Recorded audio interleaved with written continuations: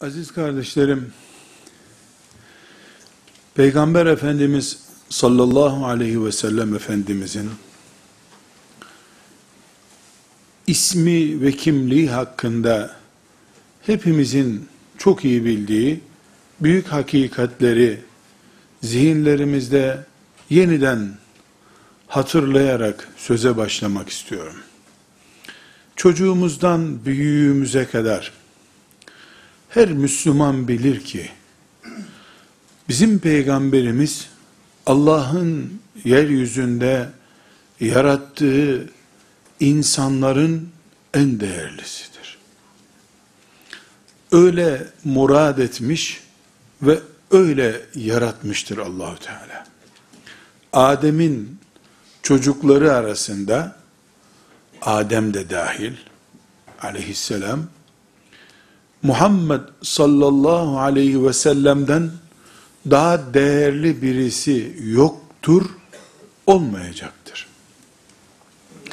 Onun özelliklerini sayacak olsak, şu şu hususiyetleri var, şunlar onun farklarıdır diye belirtecek olsak, yüzlerce madde çıkarabiliriz.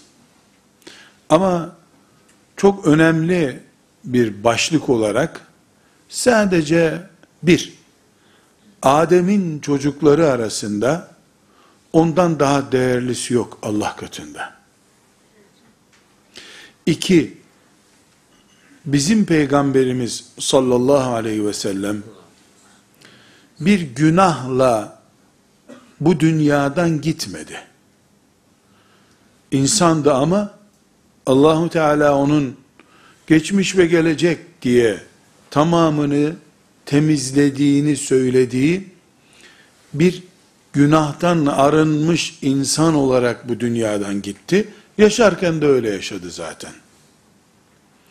Mesela Adem aleyhisselam onun babası bir günahından söz edilebilir de Resulullah sallallahu aleyhi ve sellem onun evladından birisi onun bir günahından söz edilemez en iyi, en üstün ve sıfır günahlı, hatasız, tertemiz birisi.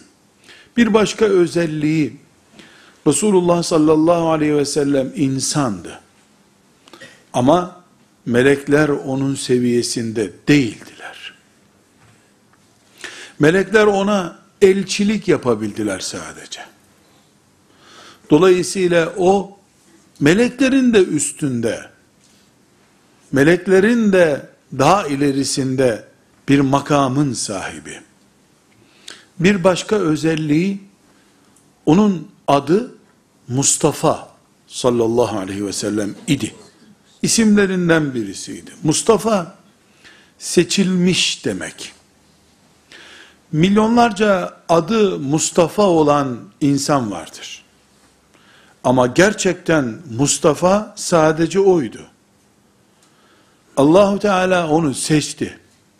Seçilmiş birisiydi. Bu seçilmişliği insanların gözü önünde durduğu hayatta iken geçerli olduğu gibi ta Adem Aleyhisselam'a kadar soyu da seçilmiş bir soydu. Dedeleri ve nineleri seçilmiş insanlar olarak o yaratıldı. Sıradan değildi. Bütün bunlara rağmen insandı şüphesiz. Bir anne rahminde yaratıldı.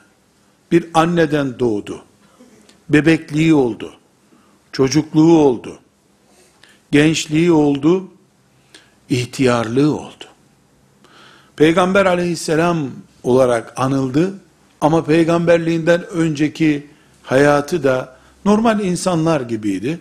Peygamber iken de insan olarak peygamberlik yaptı. Şöyle bir şey olmadı. O bir annenin çocuğu olarak yaratıldı. 40 yaşına geldiğinde de peygamberlik göreviyle görevlendirildiği için bir değişim yaşadı. Bu değişimle beraber yemez, içmez, konuşmaz, sadece ibadet eder, bana şu ayetler geldi der biri olmadı. 39 yaşında kim idiyse 59 yaşında peygamberken de o idi. Yiyordu, içiyordu, konuşuyordu, alışveriş yapıyordu. Borç alıyordu, borç veriyordu. Konuşuyordu, evleniyordu, çocukları vardı. Yüzde yüz insan olarak yaratıldı, yüzde yüz insan olarak vefat etti. İnsanlığında hiçbir değişim olmadı. Faziletlerinde, büyüklüklerinde söz konusu bir değişiklik var. Gitgide Allah'a daha yakın oldu. Miraç gördü. Miraçtan sonra farklı bir ortamda oldu. Ama insan olarak o insan.